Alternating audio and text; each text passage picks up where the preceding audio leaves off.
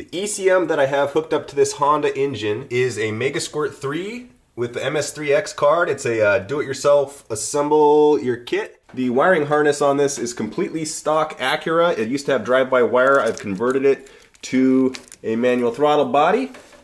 I've identified every wire on these and all these wires that are cut and shrink wrapped are not going to be used in the harness.